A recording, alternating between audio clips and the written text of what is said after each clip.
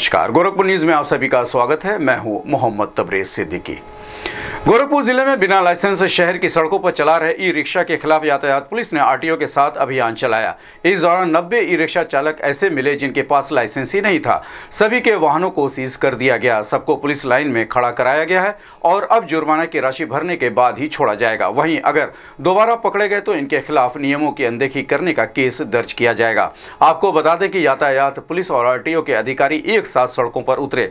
कई चौराहों पर ई रिक्शा की चेकिंग शुरू कर दी गई तो कई ई रिक्शा वालों ने भागने की भी कोशिश की। पुलिस की मौजूदगी में सभी के कागजात और ड्राइविंग लाइसेंस की जाँच की गई। ये भी देखा गया कि कोई शराब पीकर या फिर मानक से अधिक सवारी तो बैठाकर नहीं चल रहा है। कुल 90 चालक ऐसे मिले जिनके पास ड्राइविंग लाइसेंस नहीं थे। कार्रवाई में एसपी ट्रैफ़िक श्याम देवबिंद के अलावा आरटीओ के यात्री कर रहे अधिकारी विजय किशोर आनंद, रविचंद्र त्यागी, निरीक्षक अजीत पांडे मौजूद रहे। इस संबंध में एसपी ट्रैफ़िक श्याम देवबिंद ने कहा कि आरटीओ के अफसरों के साथ ई रिक्शा की चेकिंग की गई है। इस दौरान 90 ई रिक्शा चालक ऐसे मिले जिनके पास ड्राइविंग लाइसेंस ही नहीं था। सभी वाहनों को सीज कर यार्ड में खड़ा करा दिया गया है। अगर दोबारा जाँच में ये बिना लाइसेंस के मिले तो कानूनी कार्रवाई भी की जाएगी।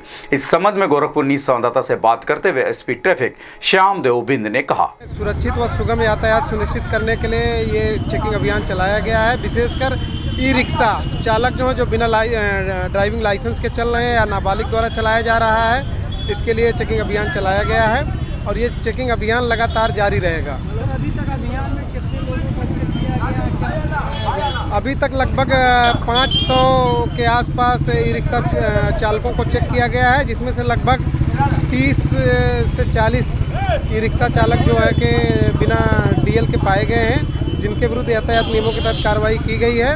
और ये चेकिंग अभियान आगे भी जारी रहेगा, ये लगातार चलता रहेगा। और मैं लोगों से अपील करूँगा कि बिना डीएल के कोई भी वाहन ना चलाएँ डीएल प्रॉपर बनवा लें, उसके बाद ही चलाएँ।